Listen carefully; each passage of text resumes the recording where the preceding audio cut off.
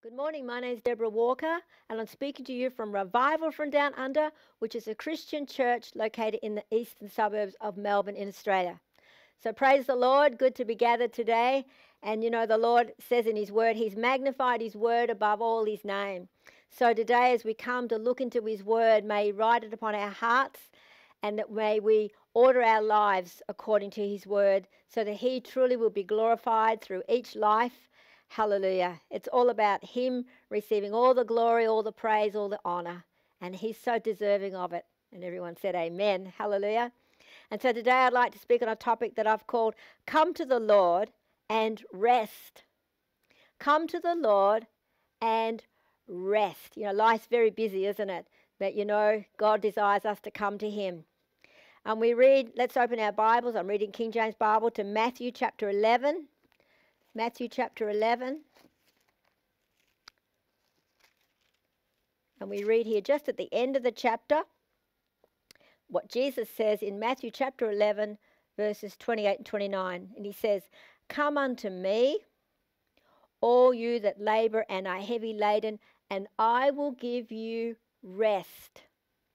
Take my yoke upon you and learn of me, for I am meek and lowly of in heart, and you shall find rest unto your souls. It sounds wonderful, doesn't it? Come to a rest and rest even for our souls. And before we came to the Lord, you know, we were spiritually lost, spiritually blind, spiritually naked. We lacked true peace, and we were headed for an eternity in hell. That's what the word says. And however, it was the goodness of the Lord that He sought us out and that we can come to Him and find rest.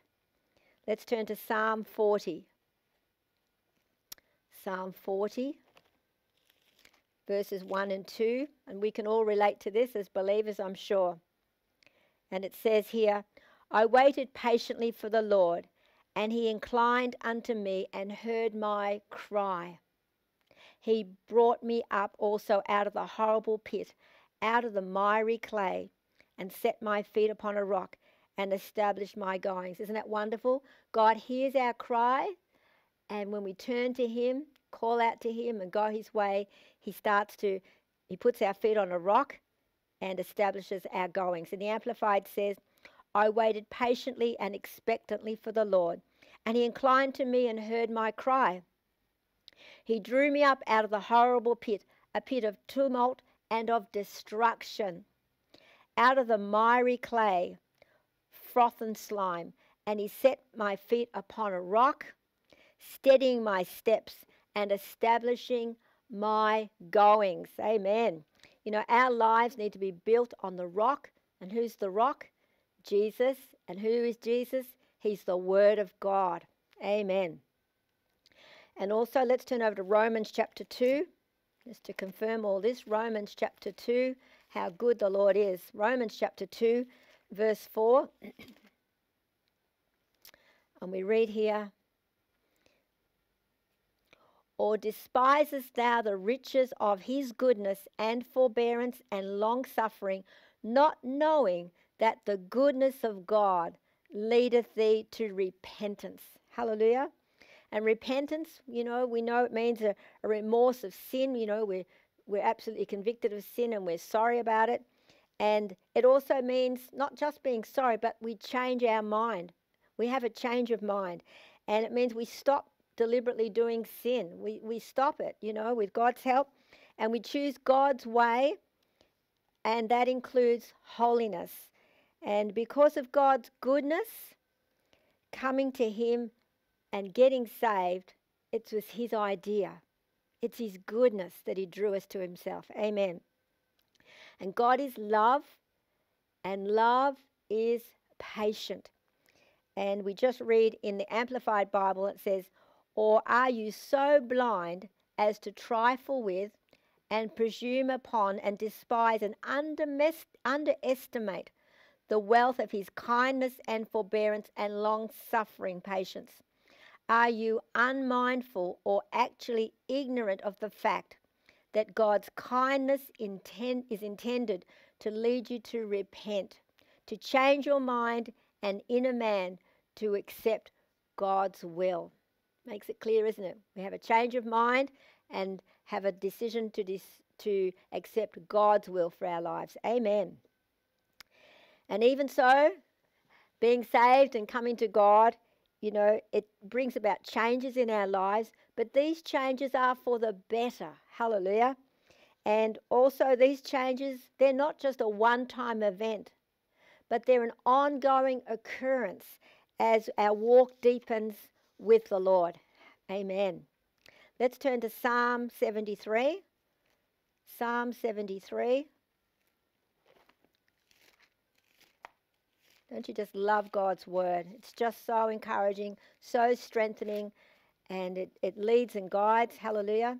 Psalm 73 and verse 22 to 28, it says, So foolish was I and ignorant. I was as a beast before thee. Nevertheless, I am continually with thee. Thou hast holden me by my right hand. It's encouraging, isn't it? Thou shalt guide me with thy counsel, and afterward receive me to glory. Whom have I in heaven but thee? And there is none upon the earth I desire beside thee. My flesh and my heart faileth, but God is the strength of my heart and my portion for ever. For lo, they that are far from thee shall perish Thou hast destroyed all them that go a whoring from thee. And verse 28 But it is good for me to draw near to God. I have put my trust in the Lord God, that I may declare all thy works. Amen. We put our trust in the Lord, and he has drawn us to himself. And when we draw near to God, he ministers to us. Let's turn to Isaiah chapter 40.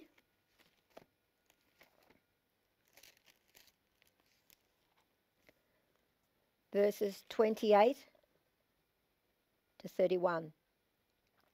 Hast thou not known, hast thou not heard, that the everlasting God, the Lord, the Creator of the ends of the earth, fainteth not, neither is weary. There is no searching of his understanding. He giveth power to the faint, and to them that have no might he increases strength. Even the youth shall faint and be weary, and the young men shall utterly fall. But they that wait upon the Lord shall renew their strength. They shall mount up with wings as eagles. They shall run and not be weary, and they shall walk and not faint. And I'll just read it from the Amplified. It does open it further. And I'll just read it from verse 31. But those who wait for the Lord, who expect, look for, and hope in him, shall change and renew their strength and power. And they shall lift their wings and mount up close to God as eagles, mount up to the sun. They shall run and not be weary, and they shall walk and not faint or become tired. Hallelujah. What's the key? Waiting on the Lord. Amen. And you know, we're told to study God's word in 2 Timothy 2:15 and we're to rightly divide the word. It says study to show yourself approved of God, rightly as a workman that needs not to be ashamed, rightly dividing the word of God. So God wants to study us to study his word so we get understanding of his word and his ways. And for this studying to be profitable to us, we read in 2 Corinthians 2 Timothy chapter 3 verse 16 that it must be done from all scripture because it says all scripture is given by inspiration of God and it's profitable for doctrine, for reproof, for correction, for instruction in righteousness. So this topic it's called come to the Lord and rest. And when we study rest in both the Old Testament and the New Testament, it basically means to repose, Now, that's a word we're not really familiar with, but when you looked up the meaning of that word, it means to rest by putting one's head down on a pillow. It means to lie down, to cease from activity and exertion, to be still. Respite from toil, like we take a break from toiling, and to refresh, re, to refresh from rest. Right. So when we rest, there's a refreshing in the Lord. Hallelujah. And the word rest also means freedom from worry. And it means to settle, to dwell, and to abide. So that's what the Lord wants to do in our lives in this rest, that we don't have worries, that we can uh, be refreshed in His presence, that we can be in Him and let Him have His way. Hallelujah. And let's turn to Psalm 23. Psalm 23 verses 1 and 2.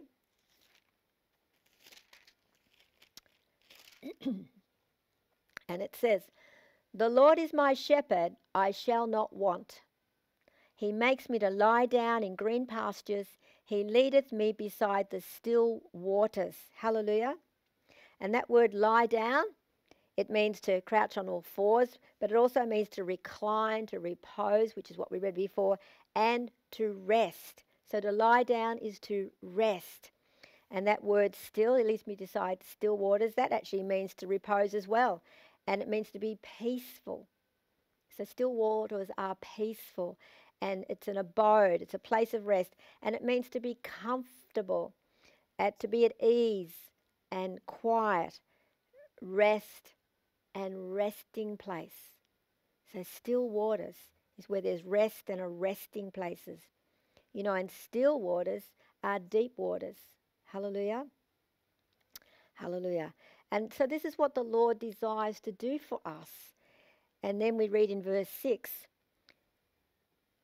Surely goodness and mercy shall follow me all the days of my life, and I will dwell in the house of the Lord forever. And that word dwell comes from the same Hebrew word, and it means to sit, to make, and to abide.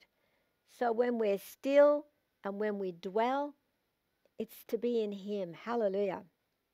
Hallelujah. Let's turn to Jeremiah chapter 23. Jeremiah 23, verses 5 and 6.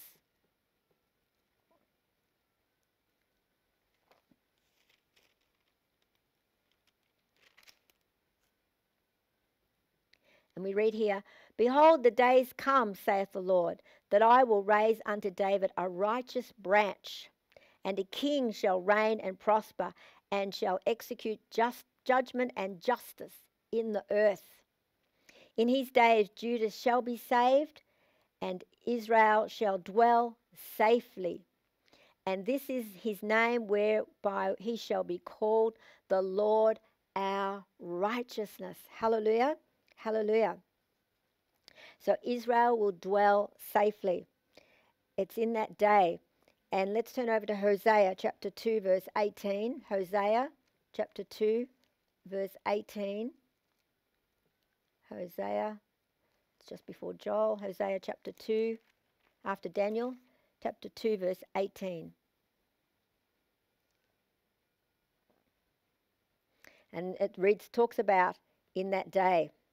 2, verse 18, and it says, And in that day I will make a covenant for them with the beasts of the field and with the fowls of heaven and with the creeping things of the ground, and I will break the bow and the sword and the battle out of the earth and will make them to lie down safely. There's that lying down, coming to rest again. And in that day, that definitely refers to the day we now live.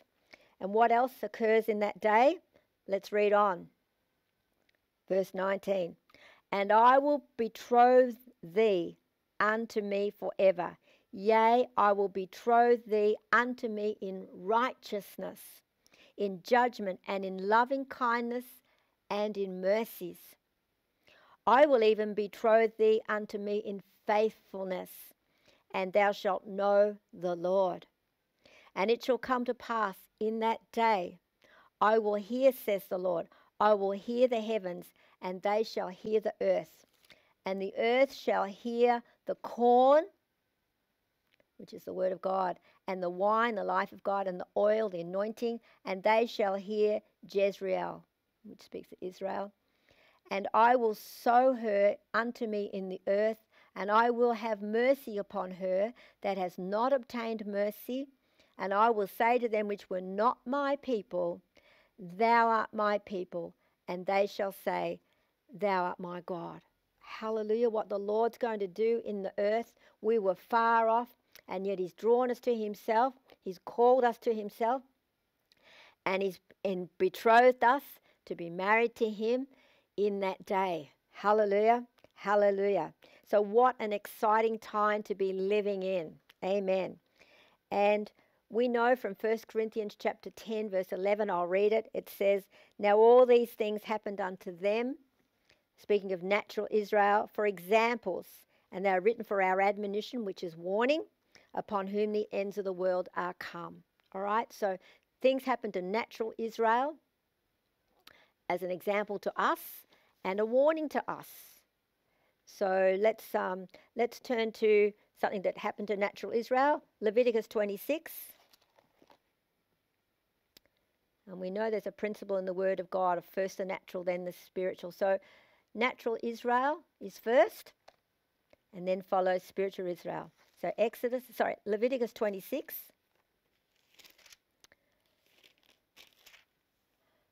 Verses 1 to 3. And it says here, You shall make you no idols, nor graven image, neither rear you up a standing image Neither shall you set up any image of stone in your land to bow down unto it, for I am the Lord your God. You shall keep my Sabbaths and reverence my sanctuary. I am the Lord. If you walk in my statutes and keep my commandments and do them. Hallelujah. Hallelujah. Hallelujah. Sabbath, it means rest. And there is a rest in God. He said, Keep my Sabbath. And we know from natural, from reading the scriptures, that natural Israel, they had a weekly Sabbath. However, this scripture says they were to keep the Sabbaths, keep my Sabbaths, plural. And to help us understand this, natural Israel, they had an agricultural year when they harvested their crops and scripture reveals there were seven extra Sabbaths, and they were called holy convocations, which is quite a mouthful, isn't it? But I'll just call them special Sabbaths, like extra Sabbaths, all right? And they occurred during these three feasts, during these three harvests. And again, Sabbath means rest.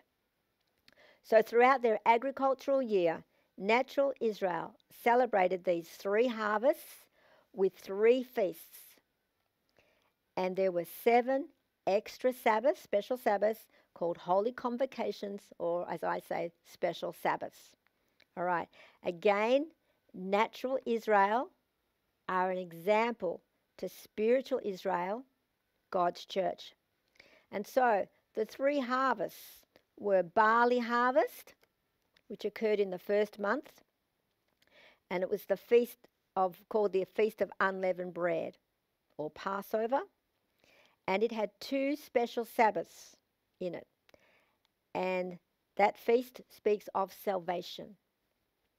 The second feast, the second harvest, was a wheat harvest, and it was called the Feast of Weeks, and we know it as Pentecost. And that happened in the third month, so it was 50 days after the first month. And it had one special Sabbath, and it speaks of being filled with the Holy Spirit. And the third feast, or the third harvest, was a fruit harvest. And it was called the Feast of Tabernacles or Ingathering, and we know it as Tabernacles. And it had four special Sabbaths in it. And it speaks of full spiritual maturity. That's the fruit. And God desires us as believers to experience all three feasts in our lives. And if you'll just uh, listen carefully to this, The purpose of participating in all three feasts is to bring us to the 10th day of the third feast, and it was called the Day of Atonement. It was in the middle of the feast. And it, atonement means one with God. Full atonement. It means full salvation. And for us, that means when the marriage of the Lamb takes place to his fully atoned, perfected bride. That's when it will occur on the Day of Atonement. But it's in the third feast. Hallelujah. Meanwhile, if Israel obeyed God's word, then God would do what he promised in the next verse. So let's read on verses 4 to 6. Then I will give you rain in due season, and the land shall yield her increase, and the trees of the field shall yield their fruit. We're likened to trees, believers are trees, are bringing forth fruit. And your threshing shall reach unto the vintage, and the vintage shall reach unto the sowing time. There is going to be an abundance, and you shall eat your bread. Bread's the word. Eat your bread to the full, and dwell in your land safely. And I will give peace in the land. And you shall lie down. Sounds like Psalm 23, doesn't it? Peace in the land and lie down. And none shall make you afraid. And I will rid evil beasts out of the land neither shall the sword go through your land.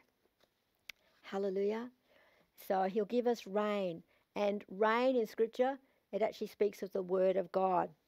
And so it's the rain, the word of God, as it comes on our life, like rain falls, as it comes on our life, it's going to cause that fruit, where the trees, to bring forth fruit. Hallelujah.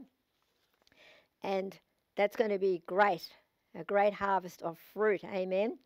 And in the Lord, so in the Lord, we are to be at rest every day, every day, and not just on particular days like the children of Israel were. All right, every day in the Lord, it's a rest. Hallelujah. Meanwhile, that word dwell, it actually means to sit down, you know, to dwell in Him, to settle, to be still. So let's turn over to Psalm 27. Psalm 27, verses 4 and 5. And this is what David wrote down on behalf of the Lord. It says here, Psalm 27, verses 4 and 5. One thing have I desired of the Lord, that will I seek after, that I may dwell in the house of the Lord all the days of my life, to behold the beauty of the Lord and to inquire in his temple. Hallelujah. For in the time of trouble he shall hide me in his pavilion.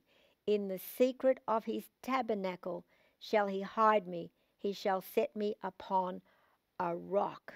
Hallelujah. Hallelujah. Hmm. Uh, we are the dwelling place individually and collectively the Lord, uh, but we want to remain in Him, in His house. It's a spiritual house made up of people throughout the world. And, you know, that's my desire. I know that's your desire that we might remain in Him all the way to the end. Hallelujah. And that word dwelling, He said that I might dwell in the house of the Lord. It's associated with being planted. And so let's turn back to Exodus 15. Exodus 15, verse 17. Exodus 15, verse 17.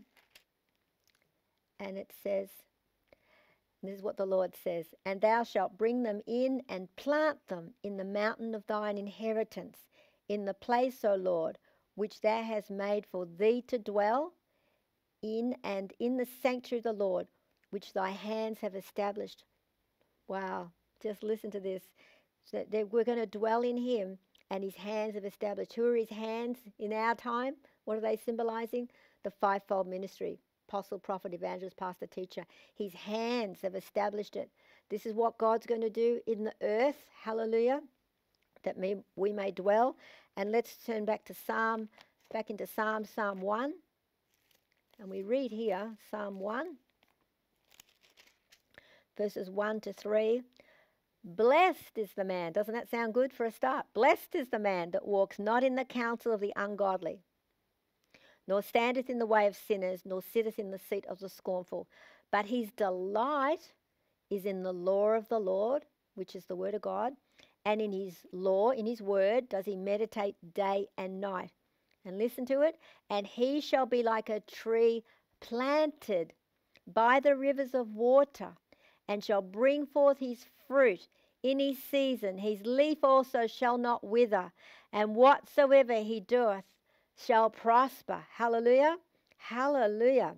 Hallelujah. We need to be planted by the rivers, planted by the water. Water comes from rain. Hallelujah. Planted by the water. The Word of God is the water. I'll say it. The Word of God is the water. We're to be planted in God's Word. Hallelujah. Hallelujah.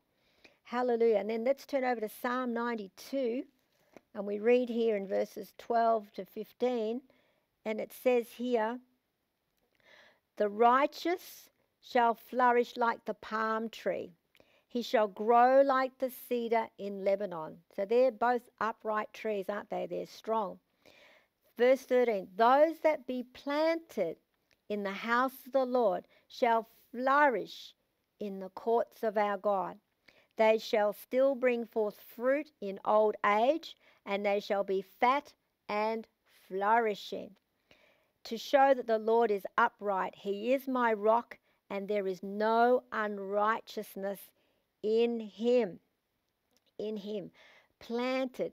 You know, we need to be planted in the Lord. You know, in the natural, if you've got a garden and you um, have plants there and you pick this plant up and you move it there and you pick it up and you move it there and you pick it up and you move it there. It won't get established. Its roots won't get established. It won't get down and founded correctly. And so as um, living trees in the lord we need to be planted where god would have us to be planted and get fixed and get our roots down and be planted beside the word of god the Word of God is what's going to bring about the fruitfulness in our lives, in our on our tree, the fruit, the full character of the Lord Jesus Christ, and it comes through the Word. Hallelujah.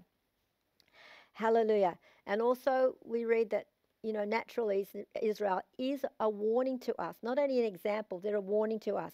So let's turn over to Isaiah 29, verse 13.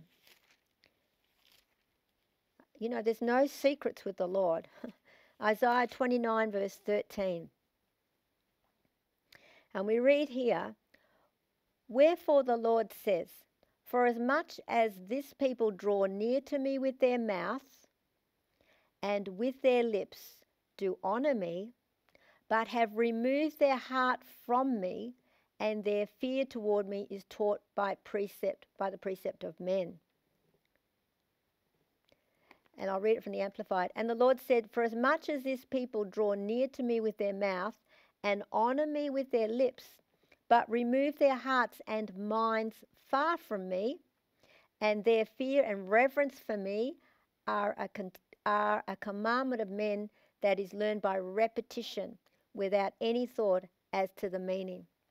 All right? God doesn't want just our lip service. He's never wanted lip service or repetition or religion. He's always been after our heart. It's our heart he's interested in. And that things come toward, that we press towards God from our heart. Yes, we make a good decision to serve and follow the ways of God, but our heart needs to be in all of that. God looks on the heart. Hallelujah. And that's where faith resides. That's where decisions come from. And so, what happens in our heart is really important. And as I said, you know, there's no secrets from God. So, you, you know, we could be in church and lifting our hands, praising God, and so forth.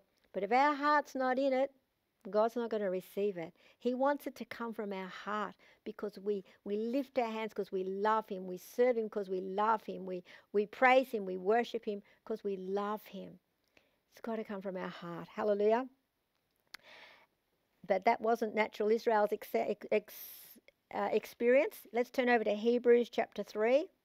Hebrews chapter 3.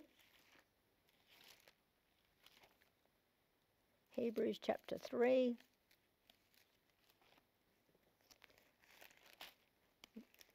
Verse 10. We'll just read through here a bit. Verse 10. And the Lord says, Wherefore I was grieved with that generation. So this is the children of Israel. They and said, They do always err in their heart and have not known my ways. So I swear in my wrath that they shall not enter into my wrath, into my rest, sorry, into I, I'll say that again. So I swear in my wrath they shall not enter into my rest. Take heed, brethren, lest there be in any of you an evil heart of unbelief in departing from the living God. But exhort one another daily, while it is called today, lest any of you be hardened through the deceitfulness of sin. Sin is deceitful. Sin thinks, oh, it'll be all right. Nobody knows. Nobody sees. I can do what I want. It's deceitful because you can't hide anything from God. And it says we're the ones that get deceived if we're going down those and making those choices in that pathway.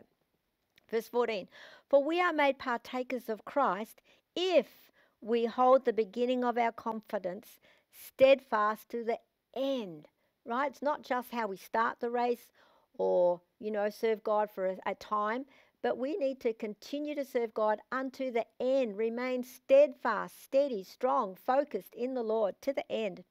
Verse 15 While it is said, Today, if you will hear his voice, harden not your hearts, as in the provocation, that's in the testings and trials. 16 For some, when they had heard, did, did provoke, howbeit not all that came out of Egypt by Moses. But with whom was he grieved forty years? Was it not with them that had sinned, whose carcasses fell in the wilderness? And to whom sware he that they should not enter into his rest, but to them that believed not? So we see that they could not enter in because of unbelief. They didn't enter in. They didn't keep their trust and confidence in God. They didn't remain steadfast. So unfortunately, they didn't they didn't enter into all that God had for them. And what happened to them in the wilderness? They hardened their heart. And everything that happened to natural Israel is an example and a warning to us. And so we always need to have soft, pliable hearts.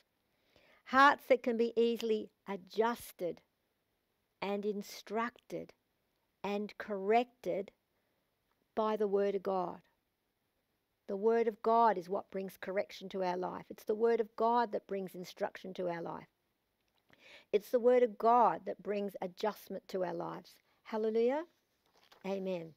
And then in Hebrews chapter 4, verse 1, it says, Let us therefore fear, lest a promise being left of us of entering into his rest, and any of you should seem to come short of it.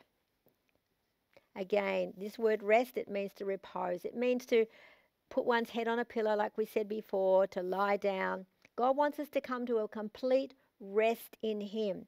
It means to cease from activity. You know, there's a scripture in Hebrews chapter 6, verse 1 and 2, I think it is. It says, Repent from dead works. You know, dead works are anything that God doesn't inspire.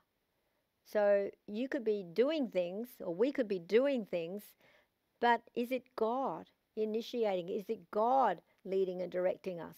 And so we just need to be aware that um, the rest he's after, it's the rest that he brings about. It's both his to will and to do. And so he's working in our hearts, in our lives, to bring about his will. Hallelujah. And this rest that he's talking about, it's not a natural rest of inactivity, but it's a rest from the works of the flesh or our dead works, as I said before but the works of the flesh. And the works of the flesh is our soul realm. That's what he wants us to rest from, the works of the flesh. And the works we do for the Lord are to be done in faith. Hallelujah. And it's as the Lord leads. So let's turn back to uh, Jeremiah chapter 6. Jeremiah chapter 6, verse 16. And we read here Thus says the Lord, stand you in the ways and see, and ask for the old path, where is the good way, and walk therein, and you shall find rest for your souls. But they said, We will not walk therein. All right? So here they have asking for the old path. It's a good way. And the Lord's saying, You'll find rest for your souls. But they said, We will not walk in there. Right? They refused to walk in God's good ways. And so they had no rest in their soul. And the soul realm, it's our mind, it's our will, and it's our emotions. And if we're not resting in God, walking God's way, doing it in God, we won't be in a place of rest. And let's turn back to Matthew 11, where we started at the beginning of this. Matthew 11, and see what Jesus said. Matthew 11.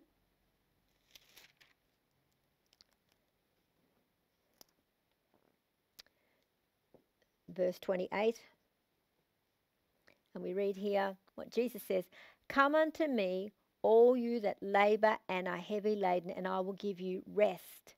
Take my yoke upon you and learn of me, for I am meek and lowly in heart, and you shall find rest unto your souls. For my yoke is easy and my burden is light. There's a rest in God. Resting in God is not toiling, there's a rest in God. And that talks about a yoke there. You know, in the natural, a yoke, it was a piece of timber, cross pieced piece of timber that was put across the necks of the two oxen. And so they were joined together. They were joined together. And, you know, we are to be joined to Jesus Christ and to be one with Him. Amen. And it says here that His yoke is easy and His burden is light.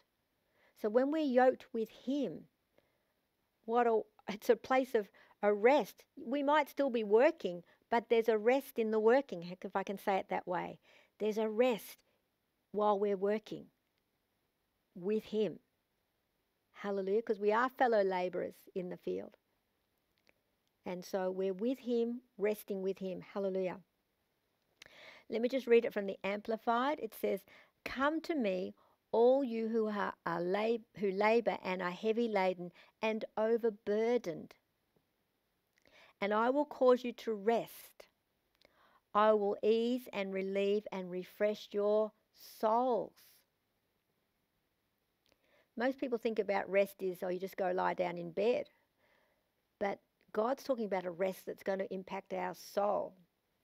Verse 29 Take my yoke upon you and learn of me, for I am gentle. That means I'm meek and humble, lowly in heart, and you will find rest, relief, and ease, and refreshment, and recreation, and blessed quiet for your souls. There it is again. For my yoke is wholesome, useful, good, not harsh, but not harsh or hard or sharp or pressing or comfortable, gracious, but rather gracious and pleasant. And my burden is light and easy to be borne. So if we're going through something and it's um, hard and sharp and pressing and harsh, that's not God. That's not coming from God. It might be coming from the enemy or it might be coming from our flesh wanting to have our own way. Because God's ways are easy, pleasant, and easy to be borne. Hallelujah. You know, God's word's trying to help us here. So, hallelujah. And so, God desires there to be a rest in our souls. And again, the soul realm is our mind, will, and our emotions. In other words, our flesh. And we read what the works of the flesh are in Galatians. Let's look at it. So we've got it on record here Galatians chapter 5, verses 16 to 21. So these are the works of the flesh. And it says here, Galatians 5, starting in 16. This I say then, walk in the Spirit, and you shall not fulfill the lust of the flesh. For the flesh lusteth against the Spirit, and the Spirit against the flesh, and these are contrary one to another, and so that you cannot do the things that you would. But if you be led of the Spirit, you are not under the law.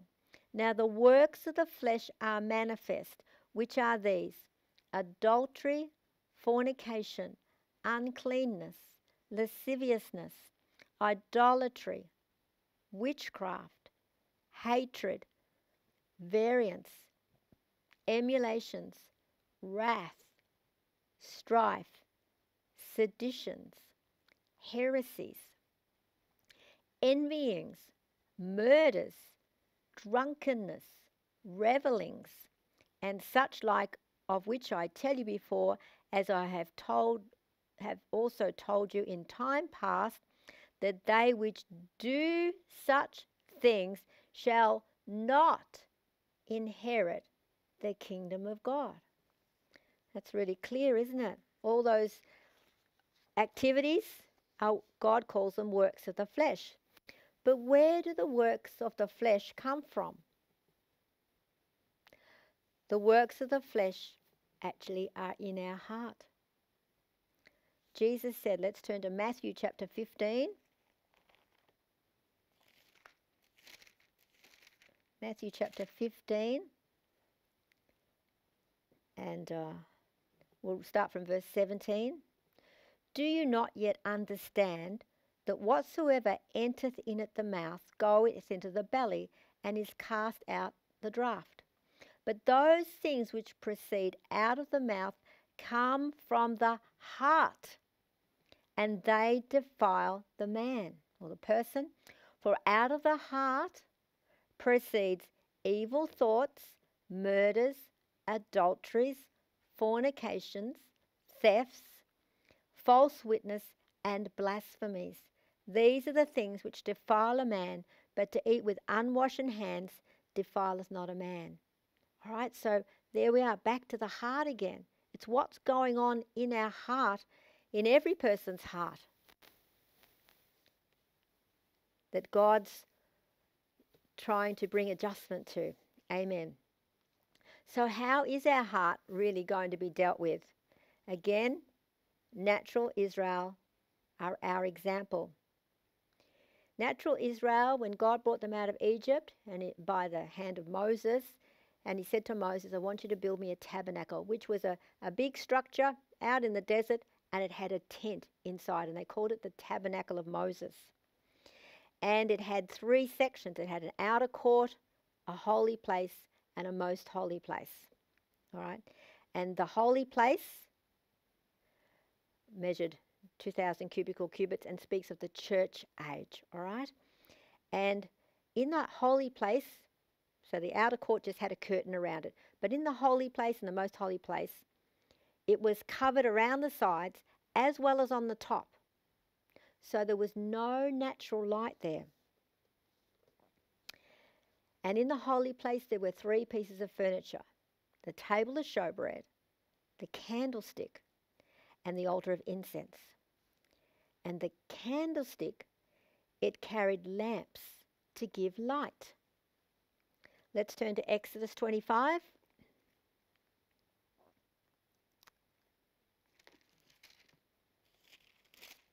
And verse 31. And this, this is what the Lord instructed Moses.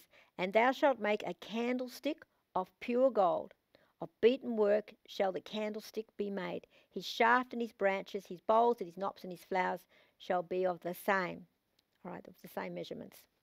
And verse 32 And six branches shall come out of the sides of it, three branches of the candlestick out on one side, and three branches of the candlestick out on the other side. So there's a candlestick, it's got three coming out this side and three coming out this side, and the middle shaft, so that makes seven branches. Seven branches in all.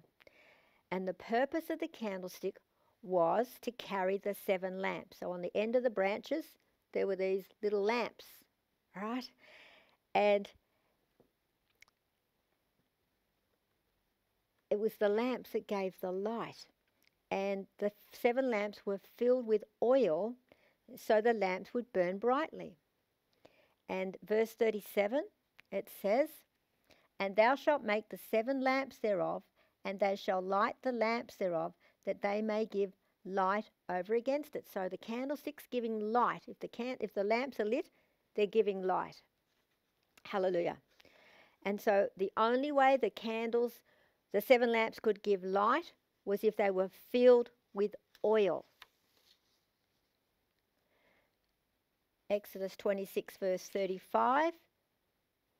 And it says here, And thou shalt set the table without the veil, and the candlestick over against the table on the side of the tabernacle towards the south, and thou shalt put the table on the north. So there's a veil, or sorry, going this way, there's a veil before the most holy place, and the table was on the north side, and the candlestick was on the south side.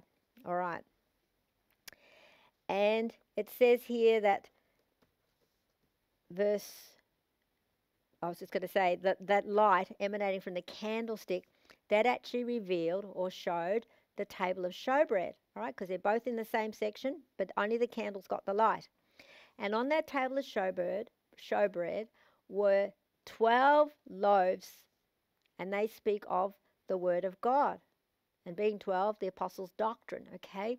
12 loaves, and you know, only the priests were allowed to eat the bread that was on that table. They called it the showbread. Only the priests. And Exodus 30, verse 7.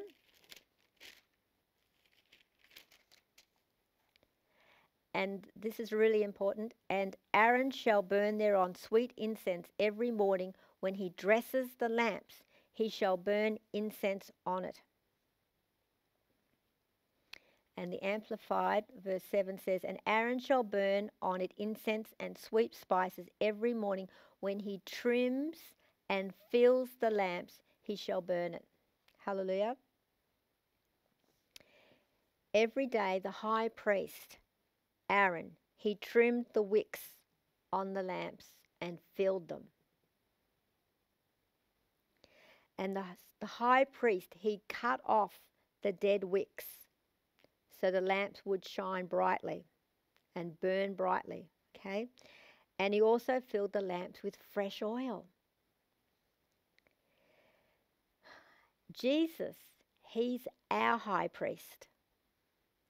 And he trims and cuts away from our heart what is not required, the dead bits. And how does he do that? He uses his sword, his word, which is the word of God. Hallelujah. Let's turn over to Proverbs chapter 6. Proverbs chapter 6. Verse 23. And it says here, For the commandment of the Lord, the commandment is a lamp, and the law is light, and reproofs of instruction are the way of life. and Psalm 119.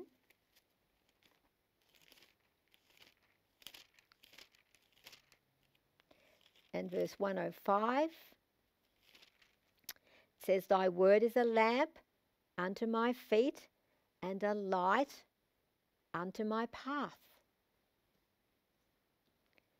And we just read that the candlestick had seven lamps and seven is the number for comple- perfection and completed work.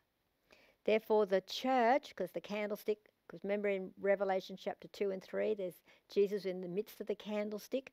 The church is to carry the complete, full Word of God as revealed by the Holy Spirit. All right, the candlestick, the church. Hallelujah. And in contrast, if there's no word being given, then there'll be no light. And that will lead to a stumbling and a falling away. You know what it's like in the dark. If you're in the dark, you can't see where you're going, you bump into things, you trip over things. But if you put the light on, the pathway is really clear. And so God's church is to buy, shine brightly. Hallelujah. And she shines with the Word of God. Hallelujah. Hallelujah. Actually, I just thought then, then you know, you've seen uh, on the on the seas when there's ships out there and there's the um, the lighthouse, and when it's dark out there, the lighthouse got the light shining, and that's so the ships can find and navigate their way through the dark. Hallelujah. And we're in a dark world spiritually, and yet the Word of God is a lamp for our feet and a light to our pathway so that we can navigate through this world and grow up and be all that God would have us to be. Hallelujah. And in verse 130, this is Psalm 119, verse 130. It says, Thy entrance of thy words gives light, it gives understanding unto the simple. The word of God, it needs to enter into our heart. That's where He wants to put His word on the fleshly tables of our heart. It needs to enter in. And if it's entering in, it will push the other things out. Hallelujah. It'll deal with the other things. And the word of God, you know, shows us how we are to walk the walk. And we are to order our lives according to God's word. Hallelujah. And regarding the trimming of the wicks, you know, the high priest, our high priest, Jesus Christ, he uses the word to deal with what's in our heart. Let's turn to Hebrews chapter 4. Hebrews chapter 4 and verse 12. And we read here, the, For the word of God is quick. That means it's alive and powerful and sharper than any two edged sword, piercing even the dividing asunder of soul and spirit, and of the joints and marrows, and as a discern of the thoughts and the intents of the heart. That's how powerful God's word is. The Amplified opens it up. For the word that God speaks is, is alive and full of power, making it active, operative, energizing, and effective. It is sharper than any two edged sword, penetrating to the dividing line of breath of life, which is soul and the immortal spirit, and of the joints and the marrow, of the deepest parts of our nature, exposing and sifting, analyzing and judging the very thoughts and purposes of the heart. Doesn't matter what's happening. It well, it does matter what's happening on the outside, but God knows how to get right to the root of the matter. All roads lead to the heart, and the purposes and why we do and what we do all come from our heart. And so, as we gather the manna, like the children of Israel were commanded to do, which is the word of God, daily, our high priest, Jesus Christ, using the word of God, will cut off from our hearts the works of our flesh. We can't actually do it. We can make good choices, yes, and we can make good choices, but if we go, well, I'm not going to do this, and I'm not going to do this, and I'm not going to do this, that actually puts us back under the law, and no one could keep the law. But if God can by His word, take those desires out of our heart, then we'll be able to walk that walk. Those works of the flesh will be cut off. Hallelujah. Hallelujah. Hallelujah.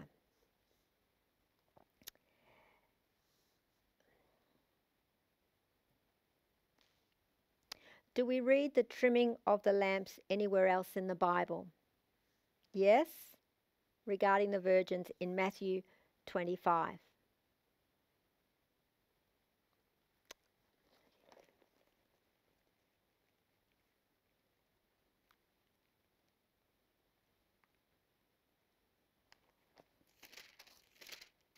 Matthew 25, and we read here in verses 1 to 2.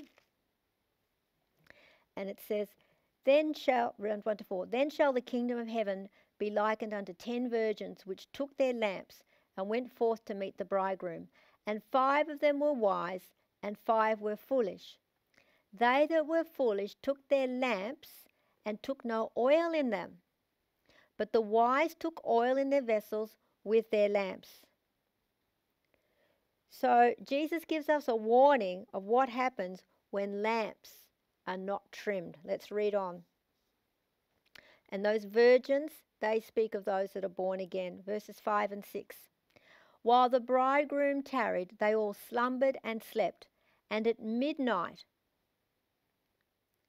there was a cry made Behold, the bridegroom cometh, go you out to meet him. And we are in the midnight hour. And so we must stay spiritually awake. Verses, verse 7. Then all those virgins arose and trimmed their lamps. And the Amplified says, Then all those virgins got up and put their own lamps in order. Amen. And let's read on. Verse 8 And the foolish said unto the wise, Give us of your oil, for our lamps have gone out.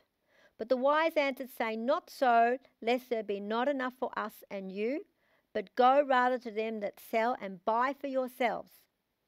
And while they went to buy, the bridegroom came, and they that were ready went in with him to the marriage, and the door was shut. Afterward came also the other virgins, saying, Lord, Lord, open to us, the other virgins being the foolish virgins. But he answered and said, Verily I say unto you, I know you not. I know you're not. So we don't want to be like the foolish virgins who were asleep at the time of the wedding. And they were not ready. And consequently, they had the door shut on them. So now's the time and where we're able to, and, and the Holy Spirit prompts us, you know, leads and guides us, that we can actually trim off some things that we know. We know we can just make good choices, can't we? We know that's not going to be good. And with God's help, you know, we can trim off some things that we know that are not pleasing to the Lord and order our lives according to God's word. And then we'll be able to shine brightly. But as I said, we can't get back under a law thing. It's, Lord, change me by your word, change me by your Holy Spirit that I'll have a desire to do what you'd have me to do. Hallelujah. Hallelujah. And let's turn over to Matthew chapter 5, verse 16, what Jesus says. He wants us to shine brightly. And Matthew chapter 5, verse 16, it says, let me read from, from verse 14. You are the light of the world. A city that is set on a hill cannot be hid. Neither do men light a candle and put it under a bushel, but on a candlestick, and it gives light unto all that are in the house. Let your light so shine before men that they may see your good works and glorify your Father which is in heaven. Hallelujah. And verse 16 in the Amplified says, Let your light so shine before men that they may see your moral excellence and your praiseworthy, noble, and good deeds, and recognize and honor and praise and glorify your Father who is in heaven. Hallelujah. That's letting our light shine. And Matthew chapter 13, that's in verse 43, that says, Then shall the righteous shine forth as the sun in the kingdom of their Father. Who hath ears to hear, let him hear. Hallelujah. That's right down the end and we are coming into that time. Hallelujah. Hallelujah. Righteous shall shine. And we read that in the Amplified, it says, Then will the righteous, those who are upright and in right standing with God, shine forth like the sun in the kingdom of their Father. Let him who has ears to hear be listening, and let him consider and perceive and understand by hearing. Those ears to hear are our spiritual ears. We can hear with natural ears, but it's when we hear with our spiritual ears in our heart, that's when we really hear, and that's when the adjustment's taking place in our heart. Hallelujah. Hallelujah. So let's just return just a little bit further to the candlestick, back to Exodus 30, verse 7. Exodus 30, verse 7.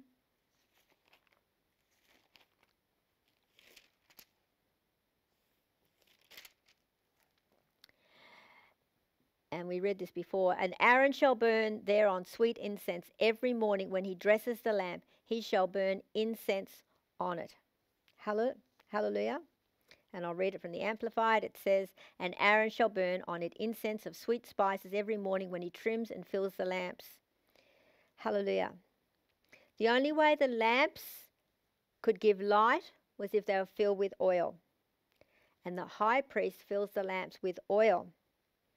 And Exodus 35, let's turn over the page here. Exodus 35, 14 and 15.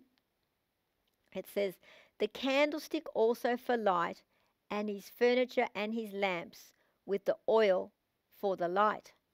And the incense altar and his staves, and the anointing oil, and the sweet incense, and the hanging for the door at the entering of the tabernacle. All right. So the oil for the light speaks of the Holy Spirit, and the burning of the incense speaks of our prayer life. So as we pray in the Holy Spirit, so too our oil is topped up. So we continue to burn brightly. That's how important it is to be praying in the Holy Spirit. Let's turn to Ephesians chapter 5, verse 18.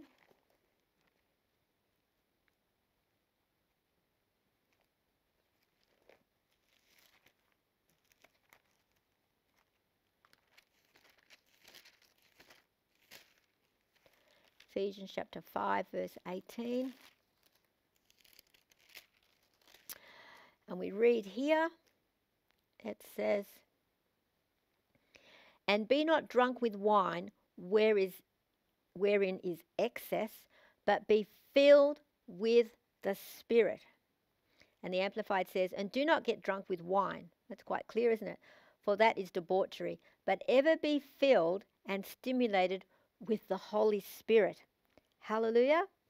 And so another way of saying that is be being filled with the Holy Spirit or continue to be filled with the Holy Spirit. And how do we continue to be filled with the Holy Spirit? Jude, the book just before Revelation. Jude, there's only one chapter in Jude, and it's verse 20, and it says, Be ye, beloved, building up yourselves in your most holy faith, praying in the Holy Ghost.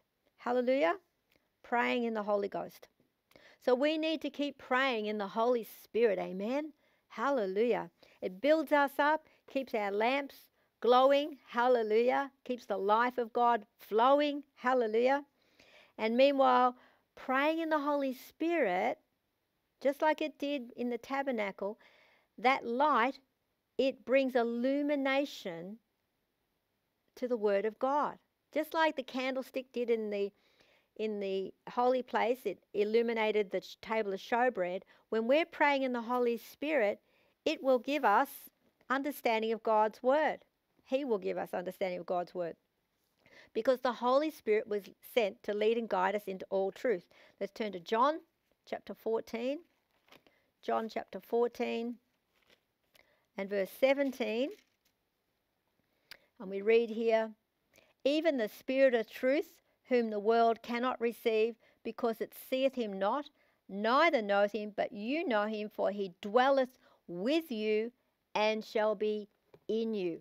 Being filled with the Holy Spirit is a, a real experience, and the evidence of that is speaking in other tongues. Hallelujah.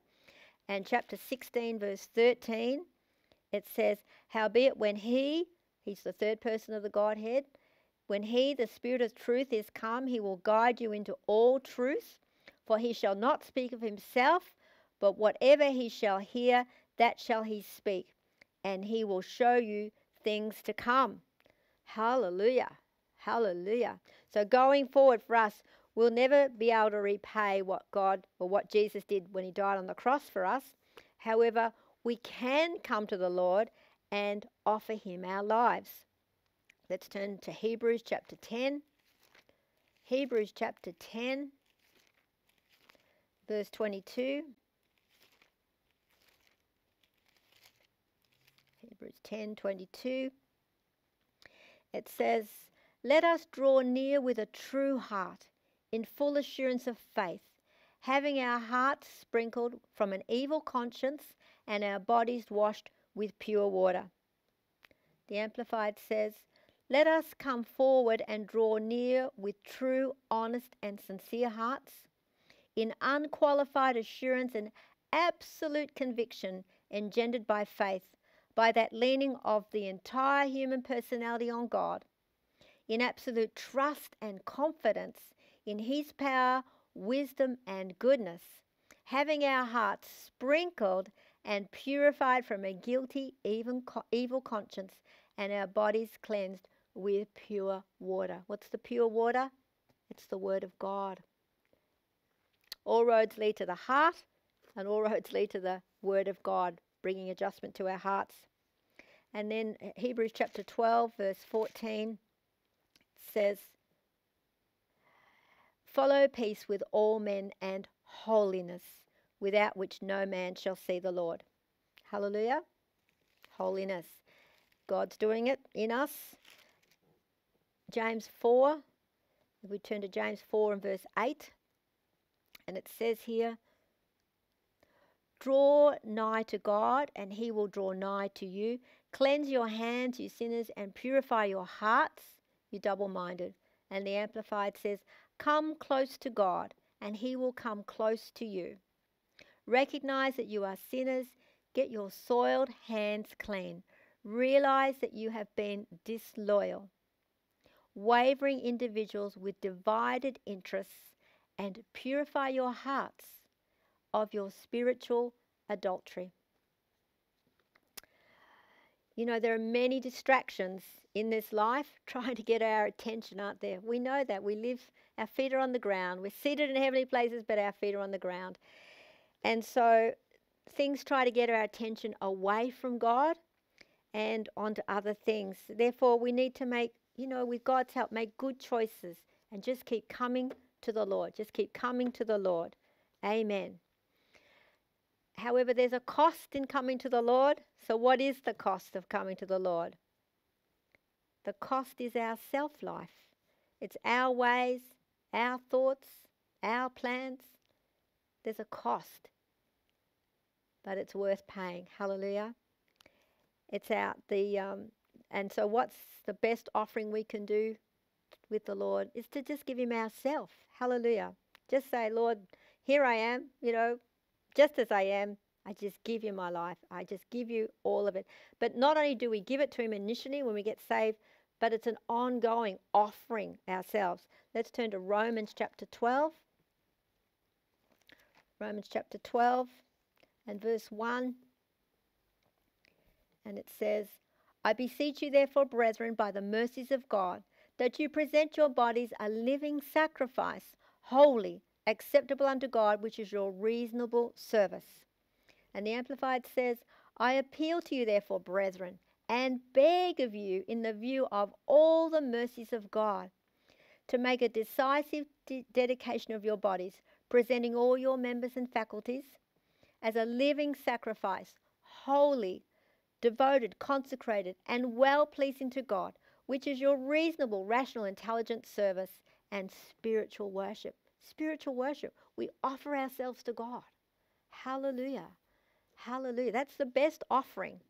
I know we give Him other things, but the best offering is our heart. We give Him our heart.